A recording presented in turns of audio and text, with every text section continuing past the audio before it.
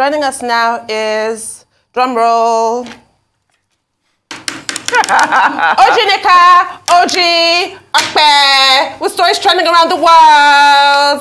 Did I do all What? right? No. Yes, yes. Hello, Genix. I forgot You forgot that. Good Oh, morning. no. How are you guys this morning? Good morning, Mr. Ifeni. Good morning, Genix. The great Malabai. Yes. So what's trending today? Good morning, Rufai. How are you? Sundu, you know, in a robot, there's something called Atia Boke. Yes, clap. I'm clapping for you. Applause. Thank you. Oh, he's was being nice. Okay, you, you. you did. No, she did excellent. Tuesday was Thank Tuesday was excellent. Today was ninety nine point nine percent. That's very generous of you. Thank you. Okay, okay, we'll wait for Just give tomorrow. her 100, 100%. Okay, 100. It's not 100 for you. well, all right. Good morning to you, viewers. Here are some of the stories that are trending across the globe. In the United States, former President Donald Trump invoked his Fifth Amendment protection against self incrimination on Wednesday as he testified under oath in New York at U.S. Attorney General Letitia James's Manhattan office. The questioning brought him face to face with the Attorney General, who he had called an out of control prosecutor and a racist. In Nigeria, the presidential candidate of the People's Democratic Party, Atiku Abubakar, has revealed that his campaign council, which he says will be different from others, will be inaugurated before the end of this month. We are no longer going to send funds through three or four party leaders. We send funds direct to the polling unit management committees because the polling unit management committee has a chairman, has a secretary, you have the canvassers, you have the polling agent, Under sports, 23-time Grand Slam champion Serena Williams lost to Belinda Bencic on Wednesday night in the second round of a hard-court tune-up match for the U.S. Open. It came a day after the 40-year-old star announced that the countdown has begun on her playing career, saying she wants to have another child and pursue business interests. It's just been so memorable, you know. Like I said in my article, I'm terrible at goodbyes, but uh, goodbye. Then, Vanessa Bryant, widow of the late NBA legend Kobe Bryant, is seeking unspecified millions in compensation for snapshots of her late husband's corpse that were circulated after he was killed in a helicopter crash with their daughter, Gianna Bryant, and seven others in 2020 at the invasion of privacy trial against the Los Angeles County Sheriff and fire departments, which began on Wednesday, Vanessa Bryant claimed that deputies who arrived at the scene of the crash did not take the photos of Kobe for investigative purposes, but shared them with firefighters who responded at the crash scene. Finally, under entertainment, Afrobeats superstar Temilade Openiyi, also known as Tems, has made history by becoming the Nigerian with the most entries on the US Billboard Hot 100 chart. The 27-year-old star achieved the feat with her fifth entry on Billboard, with Beyonce's Move debuting at number 55 on the chart, dated August 13, 2022.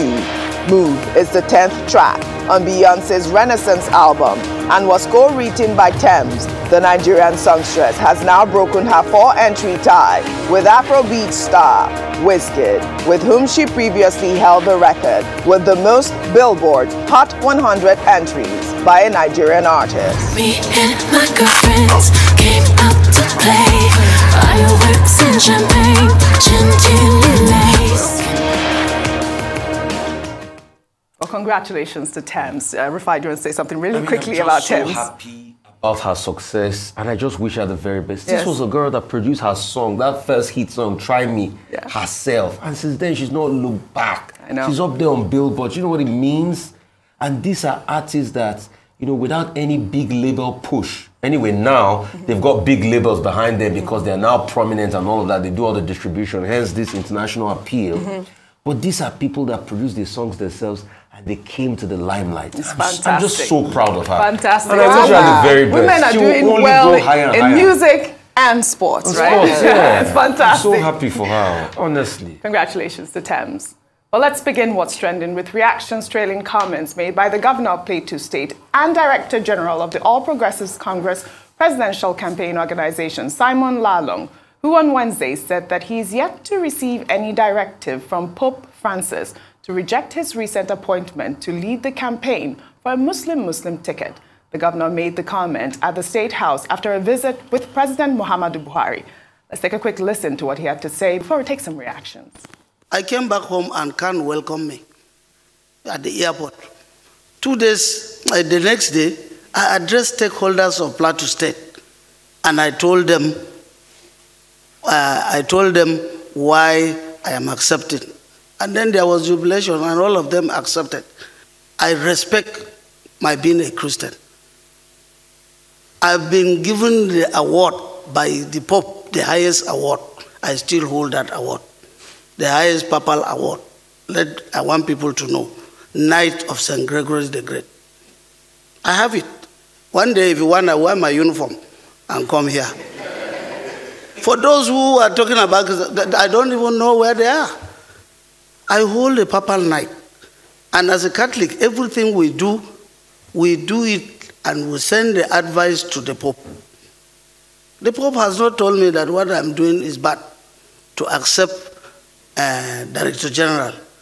All right, let's take some reactions. This is from Kalu Mege, who wrote, Don't drag the Pope and the Catholic Church into this. The Catholic Church will not meddle with Nigerian politics.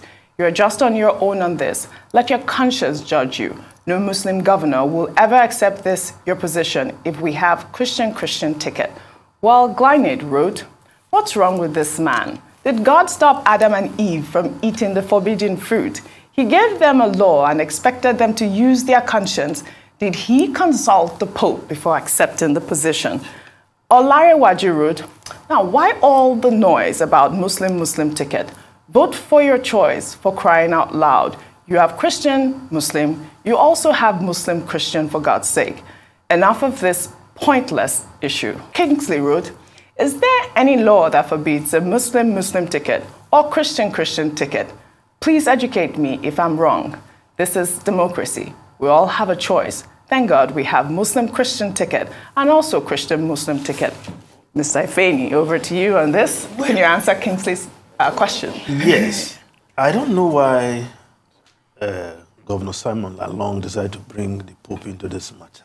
No idea. You see, instead of dousing this Muslim Muslim ticket agitation or whatever, it's the same people, the same APC people seem to have bringing new dimension to it. Because when you now talk about the Pope, oh, I'm a knight. What are you saying? That Catholics should support you, follow you. Why are you bringing the Pope into the matter? It's a choice the party has made. Exactly. You have made a choice to serve as the Director General. Just move on. Don't bring your church into this matter. To say the Pope has not to. So if the Pope, you want the Pope to come and tell you not to take the position or take the position, just leave the Pope out of the matter. I think these um, politicians, they are just uh, complexifying the issues. Yeah. Nigerians are adjusting to this issue of Muslim-Muslim tickets.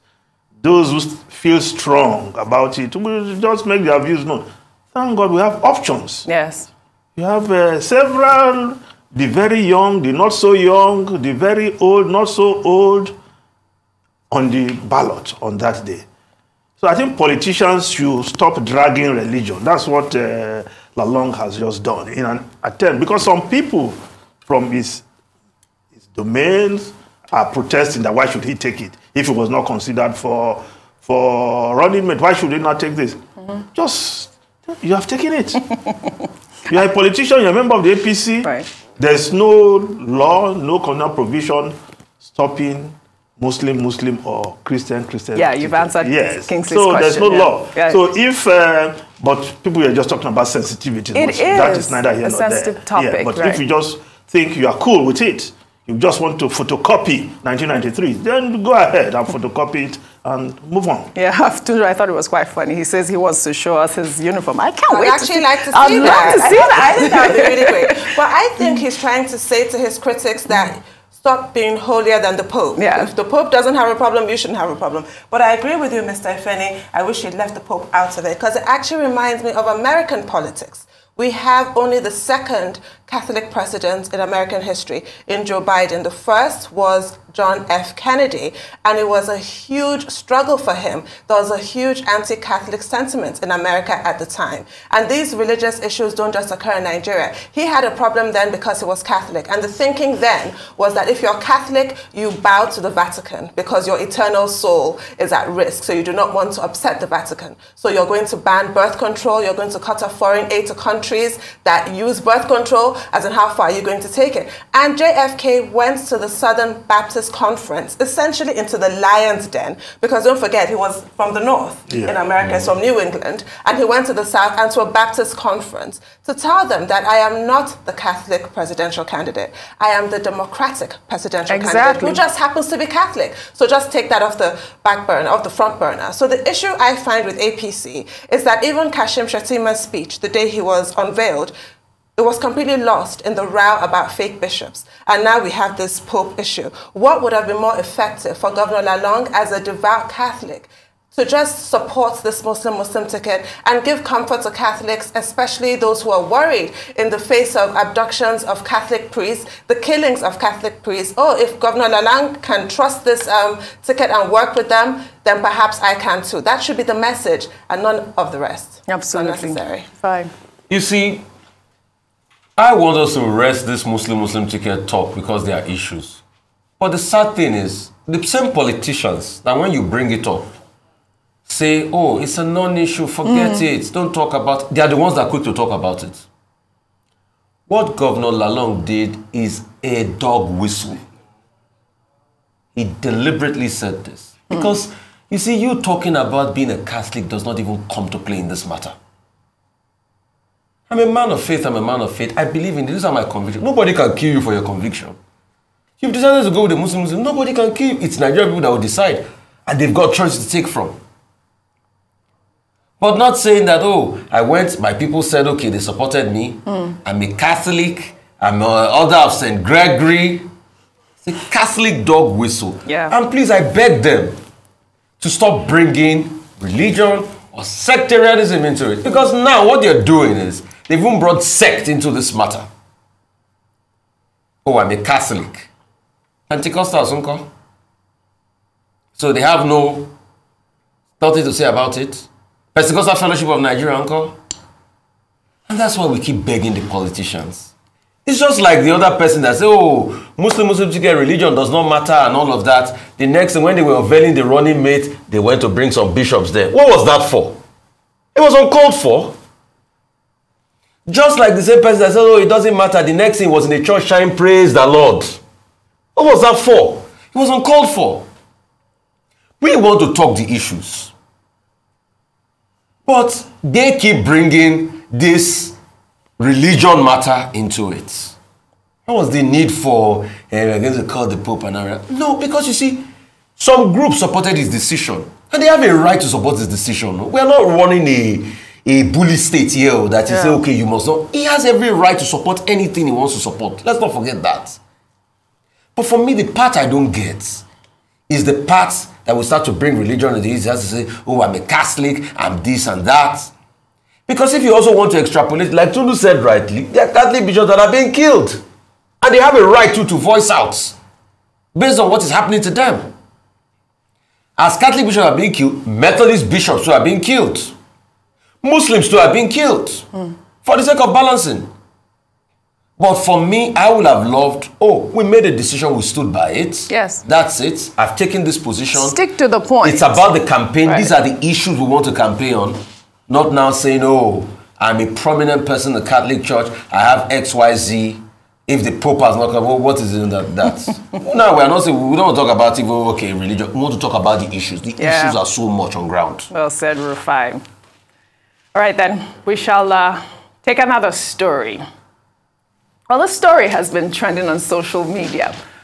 Governor Ben Ayade of Cross Rivers State has come under fire after a video surfaced online showing where his donation to a church was turned down by a bishop. Well, in the video, the governor could be heard saying that he's making 25 million naira donation on behalf of the people of the state, the state government, his family, the Chief Justice of Nigeria, and the entire judiciary. He then went on to hail the bishop, who then told him to use the money to pay salaries of civil servants in the state. Let's take a look.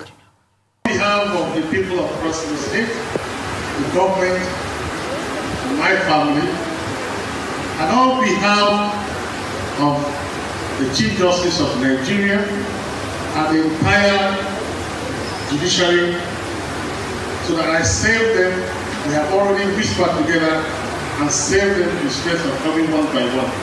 We have collectively come together to make a humble donation of 25 million naira.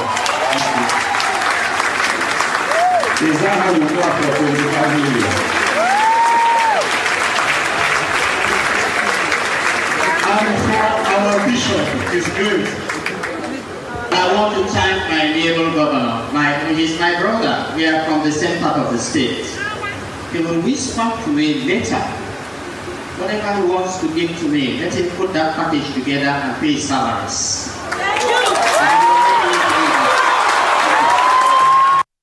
Well, oh, the applause by the congregation says it all. This is so embarrassing, Tundu Abiola. Toe curling mortification. I cannot imagine how the governor felt because there's really no response to that. What Yeah. can you actually validly Yeah, I- say in the I face wish- of that? I wish because that's the point. You, can, you yeah. do have to pay salaries Yes. before you go around distributing your largesse. Pay those you owe. That was a slap on the wrist. I could not believe it. I saw this video yesterday trending and I thought to myself, wow, this bishop should be applauded, Rufai. Water, water. He said, what, what does it mean? Water, water. I mean, Yeah. it's a social media slang. You know, Okay. it means Meaning? you're, you're giving it back to somebody the way he oh. gave it back to Oh. you. But it just shows we have a problem in this country. The fact that, and going further, I, I, I don't think it should only be what he wanted to whisper to the bishops here. I don't see why the church cannot even return that 25 million naira to him.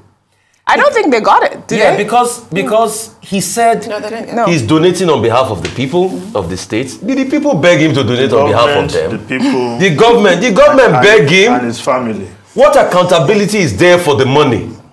25 million naira in this hard Nigeria. So somebody donate money on behalf of the people, himself, his family. Did the, did the State House of Assembly approve the money to spend? I don't have problem if it's his own personal donation and say on behalf of me, my family, from my own pocket, I remove the money and donate to the church. But he said on behalf of the people, the states, who who who approved that money to go out? Well, first, how And much that- do they earn? And how much do they even earn. So that's the level of accountability we need to have. Also, all that Bishop just did mm. was to remind him of accountability. So I had to go research. In fact, a couple of months back, there was a protest over non-payment of salaries. But the state's authorities said those uh, workers were not state workers. I think they had just employed them in 2018 and they had not confirmed them. So there was a protest on that. But apart from that, too, based on my research, I didn't see any other big protest over non-payment of salary in the sake, in the spirit of balance. So I didn't see any, but only that one. And the persons and the, uh, I think the head of service of the state said, oh, they had not regularized their appointment. That was why that they had not been paid. But it goes back. People must pay their salaries. Just as I have something against this donation and somebody talking about salary was the way I had something against the donation of the governor's wife to people in Kogi states, to people in their close circle, I think their own domestic staff and the likes, giving them one million when most Kogi workers are not getting salary. Hmm. We just need public accountability. That's, That's just all we need. That's it. Yes, accountability. You ask where did the gov- governor get that money from? I, I said, how, how much does he earn? yes, but he said on behalf of the state government, so it's state money. State money. and he's part of the state government. So that includes his family. That's how he has included everybody. But was the money budgeted? Was the money budgeted for? Maybe, mm, of course, uh, I don't see any assembly budgeting that. But of course, there are areas of funding captured in the in the in the budget uh, where you can spend money and don't account for. We know that. We do, don't Yes, we? we, we No, do. But kudos to that uh, Bishop, you call yes, him, the bishop, man, yeah. who, who told him, please go and pay salary. Eh? That's it. It was even a good thing the, the, the clergyman did not tell you your money perish with you, but he said, please use Just it go and do the, to pay the right thing. salaries. Yes. And if there are people that are being owed, whether they were employed and you don't regularize, who is supposed to regularize people employed by government? Hmm. Is it not the same government? 2018, this 2021, you've not paid them. If those are the only people that have not been paid, and you are donating 25 million, hmm. go and regularize their, their employment, pay them from 2018 to 2022. Mm-hmm. These people have families. Have they been coping? Oh, they work for government, they work, they've not regularized their appointment. Can you imagine that kind of excuse? I know. Well said, Mr. Ifeni. Very well said. We shall take our final story. Well, in in this bizarre video that is now making rounds on social media, a man could be seen angrily breaking a speed bump because he claims they are causing an obstruction. Well, let's take a quick look at this video before we uh, come back for a discussion. Hello. Okay, good morning. Wow. What can I do you for? Okay, good morning. Yeah, I can hear you. Please, uh, hello. Yeah, one minute. Let me get rid of this first. This is an obstruction to the road. All right? And under whatever circumstances, roads are meant to ease movement. And when that mission is not fulfilled, it is no longer considered a road.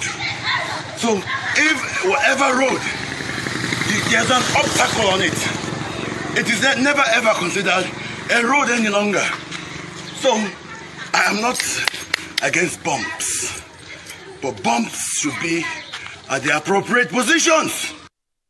So he also said he has more work to do. He's going around breaking more speed bumps. What's going on here? He's a one-man wrecking shop. It's the funniest thing ever. It is so and he said he's, bizarre. he's not against bombs, but he has taken it upon himself to decide where those bumps go, and he's about to enforce that. I find it very strange. As far as I know, it's the Ministry of Works, whether at federal level or at state level, that decides where speed Bombs bumps are placed, Exactly. not individuals. I mean, I understand a lot of people complain about speed bumps because they cause your car, you know, your suspension will have issues, you know, wear and tear. But it, the idea is to control speed. So surely we have to balance it and leave it to the authorities to decide if a bump needs to be there or not, especially if there's like a school in the area, hospital, things like that. It's not for the individual. Yeah, Certainly not. I mean, I think he needs some help. Uh, Rufai, I, I don't See, know. The truth is, uh, see, don't don't laugh at this. Thing I'm going to say. oh. Okay. You see, we need to build more psychiatrist hospitals all over Nigeria. say this. I'm serious. You see, because the stats are there to back it up. A lot of Nigerians are suffering mental illness, you know, with the state of the economy and things like that. Because a full-bodied man, he left his car parked, started breaking bombs on the He- road, He's had it. and he's justified. You know the hard work he's doing to break all. A lot of hard work, Rufai. like, "There- there's something wrong, oh. So you see, and he's even trying to justify it. Because ah no no no. He's breaking the law Yeah, because he, he had no right to so. damage you know state property and the likes and all of that. But I think the man also they need we need to see more psychiatric hospital. And please people should see more psychologists. Yeah. there are there are fewer psychologists to the population but every once in a while we should endeavor to see psychologists Yes. because we don't know the effect of all the things happening in this country what is happening on our mental health Yes. and most of us our mental health is not okay Yeah, this We're is just the worst struggling. I've seen so far. I mean, we've seen all those videos of these guys that go around um, destroying public property, like taking out rail tracks for sale and all of that. This is the worst I've seen so far. Well, clearly that's a residential area, Yeah. and you can appreciate why there should be bumps around that area. Because there are a lot of reckless drivers who don't even know the difference between residential area and an expressway. Right. And I have that right in front of me, where uh, the governor of Ogun State, Dr. Abiodun, has done a good job creating good roads with bumps, even between bumps. You see some people, they will screech and they don't even see the sign. There's even road sign, bump ahead. They will speed. So I was even saying, telling my guys that perhaps we even need to add our own bump. Because before there's a school nearby, before they will run over somebody's child, mm-hmm. and you will not say sorry. Right. So I think this man needs to be arrested. I hope I hope I have I've shown it out eh, for identification purposes. Well, yes, I did that. Tunjobiola. snitched on the I guy, snitched on the guy. We need to protect our public property. well, thank you all for your great analysis as always. That's all I have for you on What's Trending today. I'll see you tomorrow.